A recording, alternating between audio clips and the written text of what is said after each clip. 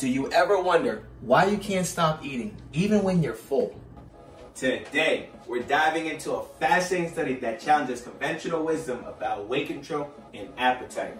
Get ready to learn how surprising results of this study can change your entire relationship with food. So keep watching to find out.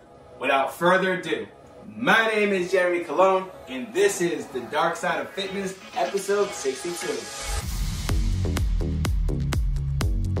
Thank you for joining me today. Welcome to my channel. We focus on transforming your body from the inside out. Suppose you're ready to take your fitness journey to that next level. Like this video, subscribe to my channel for more whole body transformation content. What determines how many calories you eat? That's the million dollar question a new study set out to answer, or at least learn more about. Turns out most of the findings weren't surprising. They were exactly what you expect. The scientists report that energy density, hyperpalatable foods, and eating rate were consistently related to calorie intake. But there was one head scratcher and involved protein. Intrigued? Let's take a look. Here's what you need to know about protein. For most of the 21st century, it's been a matter of faith that a higher protein meal increases both satiations, so you feel full faster, and satiety, so you feel full longer between meals. More satiety means that you eat less at your next meal or you wait longer between meals, either of which can help you with weight control. This is why protein has become a go-to recommendation for folks trying to manage their weight and or better control their appetite. It's also worth noting, in my coaching experience, eating more protein is very helpful for these people, regardless of the mechanism. How the study worked. The authors begin with data from two experiments conducted by researchers at the U.S. National Institute of Diabetes and Digestive and Kidney Disease.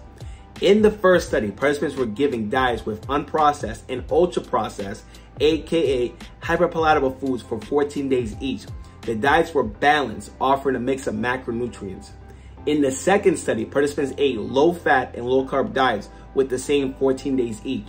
While both diets used minimally processed foods, the low-fat diet was plant-based and the low-carb diet was animal-based.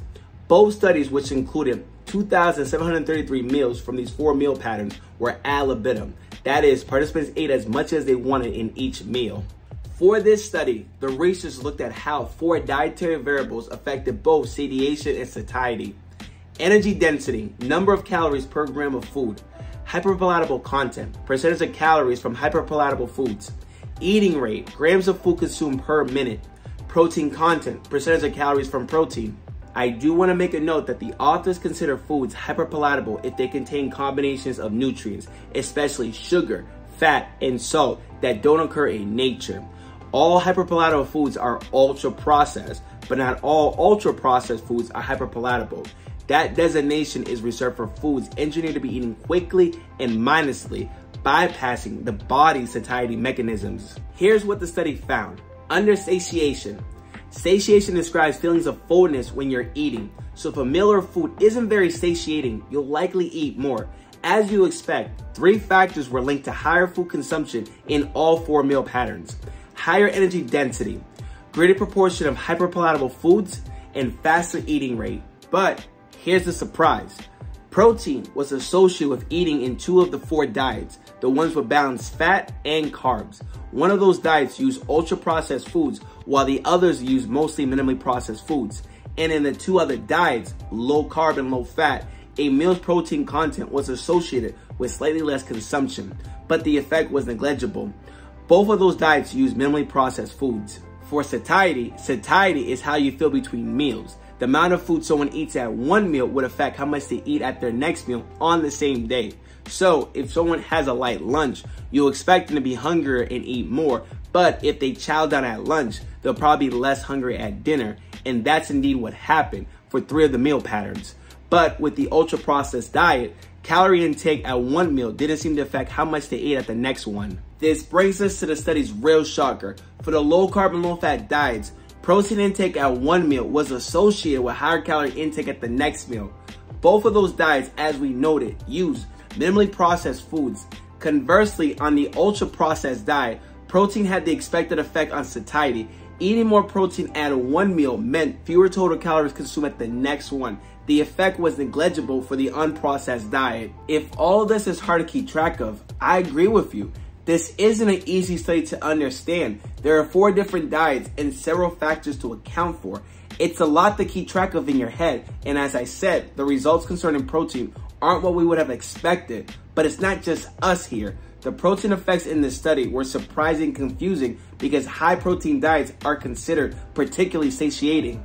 We've uncovered the hidden factors that influence our appetite and food choices, but the expertise we're about to share will take your understanding to that next level. So please keep watching to find out how to transform your relationship with food. Here are some expert coaching takeaways for this study. Number one, protein isn't a get out of the way game freight card. Most of what we know about protein is still true. It has a higher thermic effect than carbs or fat, meaning you burn more calories when digesting it. It's vital for building and repairing muscle tissue.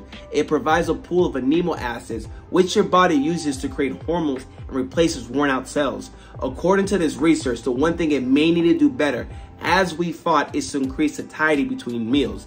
That said, the diet experiments used in the study weren't originally designed to examine satiety. The researchers conducted this analysis based on data from their previous research. That limits what we can take away from it, especially when we compare it to previous studies on the topic. The researchers are already working on new studies to see the findings hold up. The bottom line here is nothing in this study about protein should change the way you eat. Eating more protein is still helpful. Don't depend on protein alone to prevent you from eating more calories than you need for your goals. Number two, Two factors matter the most. Energy density and the proportion of hyperpalatable foods have the most powerful effects on how much you eat at any meal. Foods with the most fat, 9 calories per gram, will have the highest energy density. Some are treats like pastries, which you want to minimize when focusing on weight management, but some have a legitimate role in a healthy dietary pattern.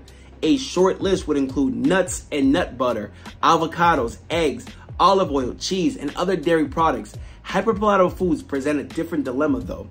We're talking primarily about things you buy in the snack food aisle or pick up from a drive-through window because they rarely offer much nutritional benefit and they're often energy dense as well. The trick here is to weigh whatever pleasure they offer against the calories you consume.